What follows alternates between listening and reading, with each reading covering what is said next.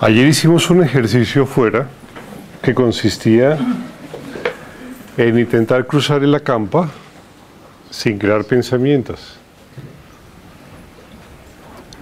Se dieron cuenta lo difícil que es, ¿no es cierto? Es decir, la mente, ya por hábito, porque realmente es por hábito, intenta definir las cosas. Entonces dice viento, verde, puedo, uy, ya casi. Pero tenemos la costumbre por hábito de estar definiendo el mundo. Lo que pasa es que ese definir el mundo no es tal. Ese definir el mundo es realmente recordarlo.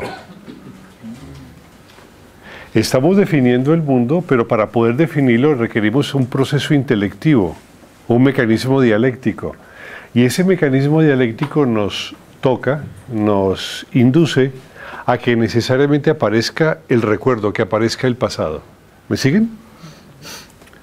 Por esa razón, en el proceso de cruzar el campo, cuando se sugieren pensamientos automáticamente, cuando aparece fantasía o cuando aparece imaginación, estamos sometidos necesariamente a una percepción histórica, estamos sumergidos en los recuerdos o lo que es lo mismo, estamos momentáneamente en el pasado. Eso hace que aprendamos a recordar las cosas, hace que aprendamos a mm, evocar el mundo constantemente. Es decir, creemos que lo definimos y que por definirlo estamos presentes, pero la presencialidad que lo define es instantánea, mientras que el proceso dialéctico de llegar hasta el objeto y sacarlo pues es mucho más continuo. Entonces nos la pasamos todo el tiempo recordando y recordando. Eso que pasa en la campa ocurre en todas partes. Tal vez no lo noten, por hábito. Pero a toda hora se está recordando. Por esa razón, si han leído a Krishnamurti, él preguntaba continuo y constantemente en sus libros si acaso es posible percibir sin historia. ¿Han, oído a, leído a Krishnamurti, no es cierto? Él constantemente sitúa al, al lector y le pregunta que es que la percepción del mundo es mentirosa, que no existe una percepción del mundo porque es lo que estamos percibiendo de las cosas es solo historia. Él le llama condicionamiento. ¿Por qué? Porque hay una previa condición a través de la cual percibimos el mundo. Ese condicionamiento es el mecanismo a través del cual percibimos y conocemos las cosas, la dialéctica. Entonces, constantemente él plantea y dice, ¿acaso podemos percibir sin historia? ¿Podemos percibir sin genética? ¿Entienden lo que dice? ¿Podemos percibir sin genética sin que esa historia sea no solamente psicológica, sino física? Es decir, ¿realmente tenemos libertad cuando percibimos? Porque la libertad debe ser percibir sin esa genética, percibir sin esa historia. Y aunque no queramos, y aunque no lo notemos, no solamente al cruzar la campa estamos todo el tiempo hablando con nosotros, viendo imágenes, recordando olores, sintiendo gustos o percibiendo el tacto para definir lo que hacemos.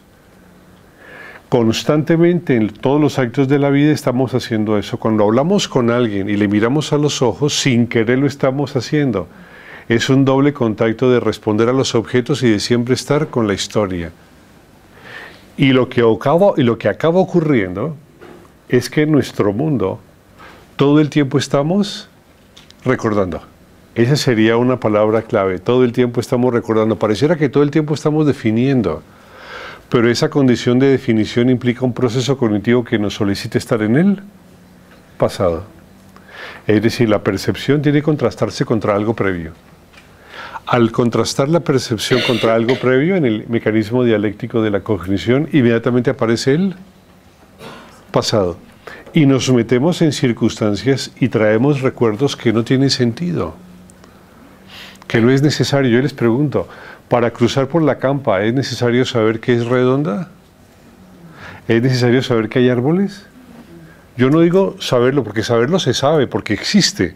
Digo es definirlo. ¿Se necesita definir que hay árboles? ¿No es cierto que no? ¿Se necesita definir qué pueden o no llegar para poder caminar? ¿No es cierto que no se necesita? Se necesita para poder pasar la campa, ¿sí? Saber que alguien que está al frente se devolvió. ¿Se necesita saber eso? ¿Se dan cuenta de todas las cosas que innecesariamente percibimos y con las cuales atiborramos la mente? Esa atiborración de conceptos es lo que nos lleva constantemente a una forma de experimentar y definir el mundo. Durante todos estos días hemos intentado que se den cuenta de cómo los pensamientos en forma de imaginación y fantasía nos atiborran. Es una tormenta.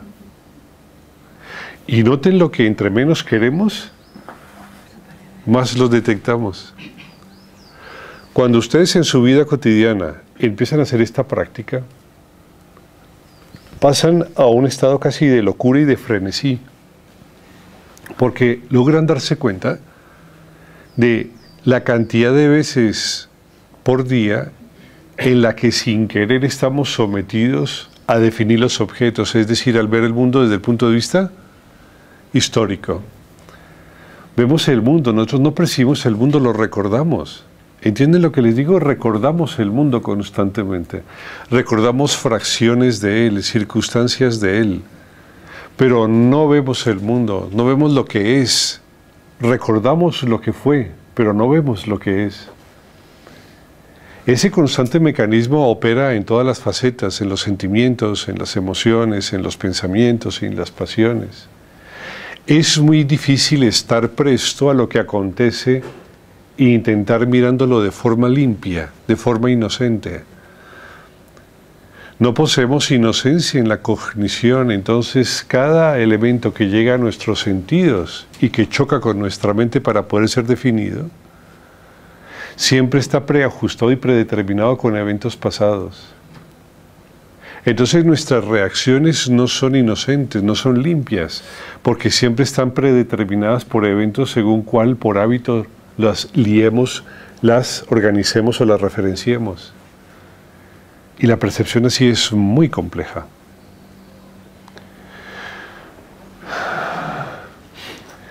Eh, yo me acuerdo en un, en un sitio que se llamaba EUBA en el norte, en España, hacemos este mismo ejercicio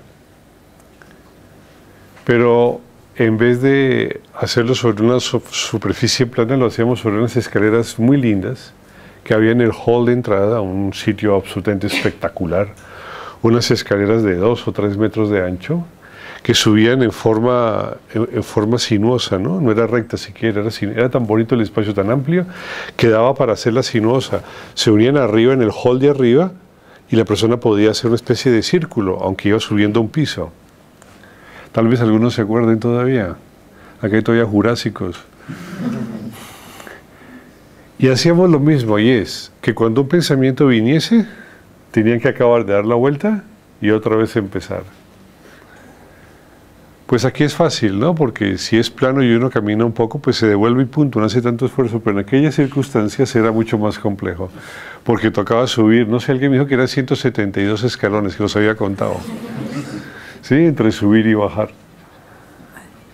Y claro, a la media hora, 40 minutos ya no subía, se arrastraban. O optaba por quedarse inquietos. Es complejo, es complejo la naturaleza de las cosas. Me acuerdo que hice otro ejercicio allí también. Tenían que dar la vuelta al monasterio, en este caso caminando. Nos levantamos a las 4 y media de la mañana, a las 5. Era un poco sui generis aquello. y les preguntaba cuando llegaban, les decía que hice una vuelta, y cuando daban la vuelta les preguntaba, mm, ¿qué es lo que es más constante en ti? Cuando das la vuelta, dice, no, sentir frío.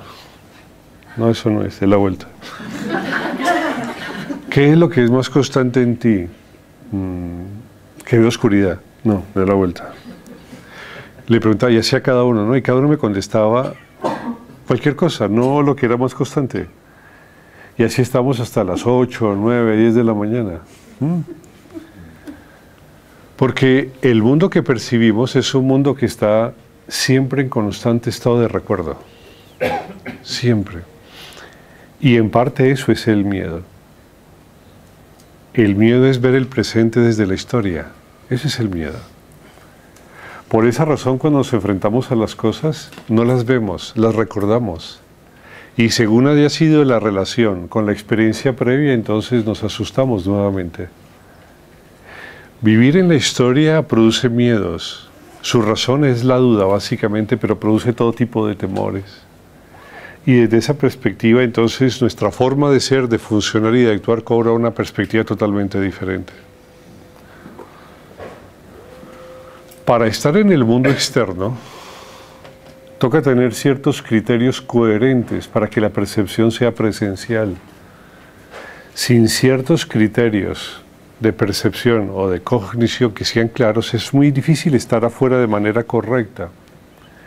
El criterio que se establece con más claridad para poder estar correctamente fuera es que la atención se deposite en los objetos de percepción. Eso es todo. Si ustedes sitúan la atención en los sentidos, pierden.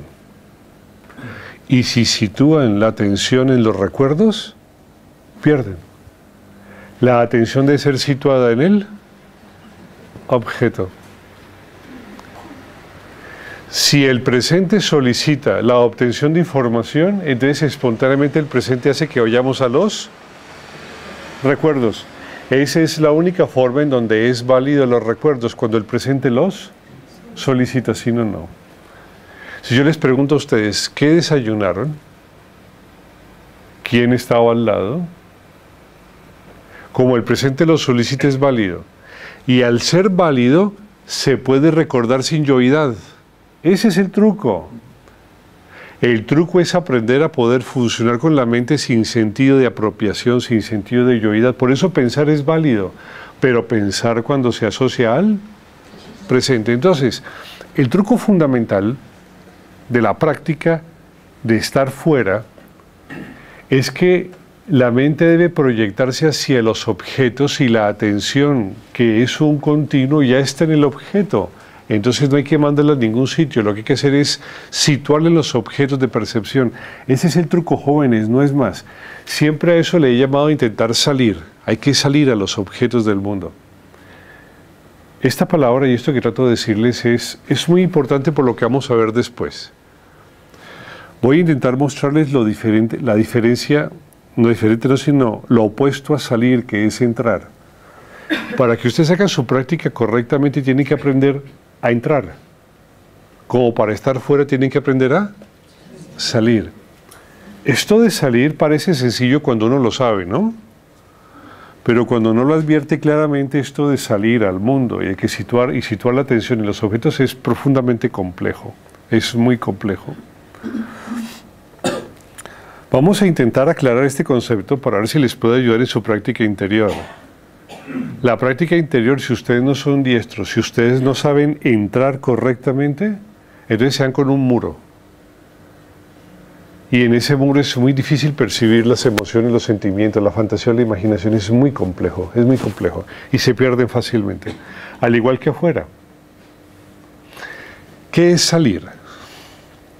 Salir es percibir con detalle los objetos, pero sin esfuerzo. Les hago una pregunta.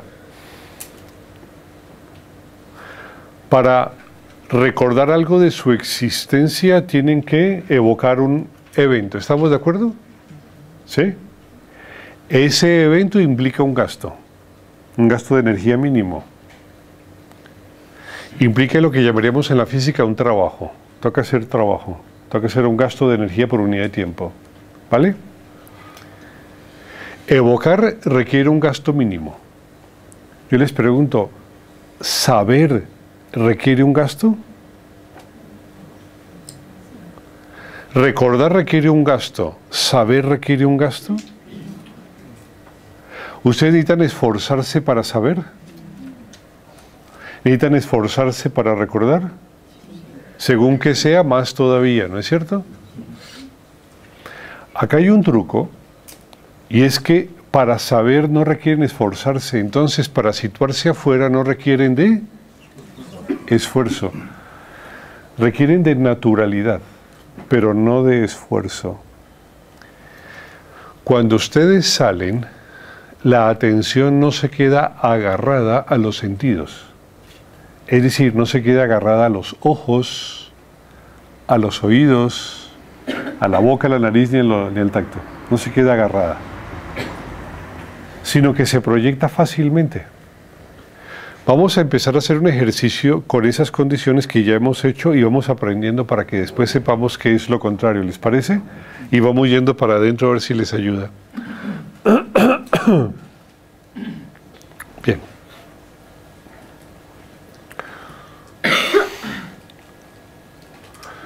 En esta sala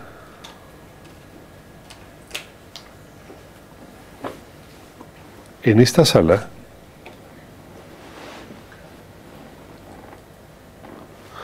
¿Cuántos cinturones hay?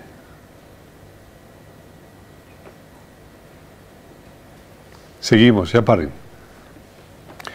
En esta sala, ¿cuántos metros cuadrados de pared puede haber?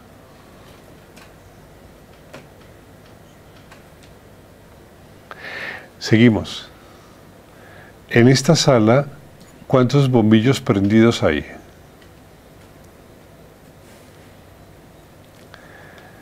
En esta sala, ¿cuántas mujeres se encuentran sentadas en silla?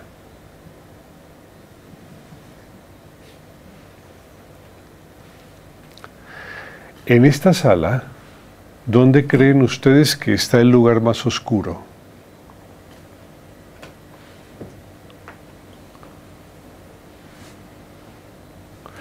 En esta sala, ¿cuántas ventanas hay?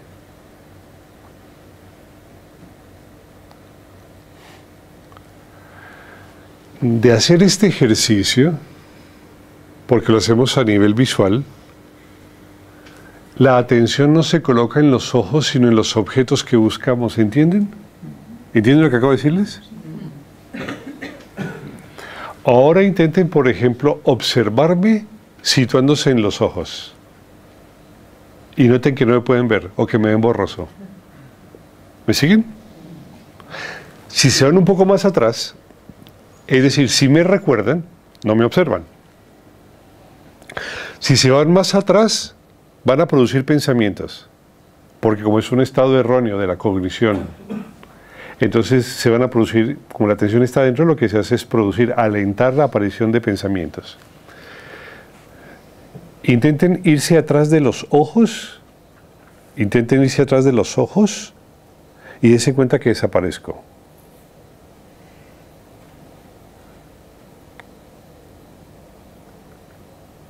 Recuerden cualquier cosa y dense cuenta que desaparezco. ¿Lo notan?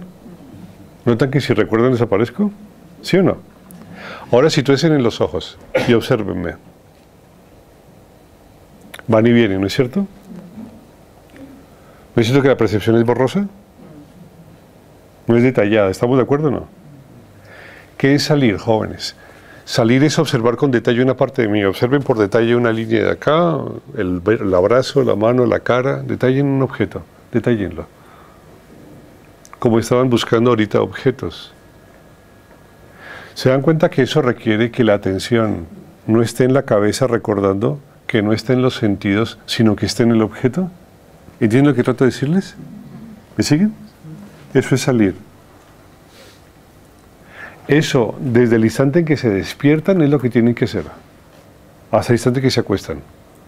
Todo el día tienen que estar fuera.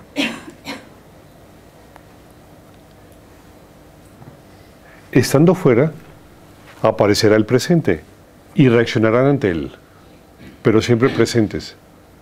Y podrán ducharse, cambiarse, hacer cualquier actividad, no importa. Pero estarán tan inmersos en cada cosa que hacen que no se necesitará recordar lo que hacen, sino que lo harán. No necesitarán recordar que eso es un pantalón para ponérselo, o que eso es un jersey para ponérselo, o que eso es una toalla para secarse. No necesitarán pensarlo, simplemente lo harán. ¿Me siguen? Y ya esa acción donde hay una reacción mental, porque evidentemente hay un orden, eso ya es presente. ¿Han visto cómo en la ducha se piensa tanto? ¿Han notado que a veces, yo me acuerdo de eso alguna vez, sí, era chiquito, sí. Yo me acuerdo, por ejemplo, salir al colegio y no, y no me preguntaba, ¿se duchó? Y yo. Entonces me tocaba el cabello. Dice, sí, sí, sí, sí, sí. Pues estaba mojado, ¿no? Sí, sí, sí, sí, me me acordaba. Porque uno en la ducha le da para todo. Para todo. Ahí arregla la vida, el desayuno, el trabajo, ahí organiza las cosas. ¿Sí? Mira qué tiempo tiene, qué tiempo no tiene. Y se sale, se seca y está haciendo lo mismo, reagrupando lo que hace falta que la ducha no se alcanzó a tejer. Y al final uno sale y se jode, me duché, habré desayunado. El truco es aprender a vivir cada cosa en su momento. Inclusive el dolor, hay un tiempo de vivirlo. Encontrar un tiempo para vivir el dolor se llama dignidad. Eso es dignidad, encontrar momentos para enfrentar el dolor, ya sea para aceptarlo o para subsanarlo. Ni dignidad tenemos, porque el dolor nos inunda por todas partes. Los recuerdos nos inundan por todas partes y entonces lo que hacemos es vivir en pos de un fantasma que no sabemos dónde se encuentra, pero que nos lleva a todas partes.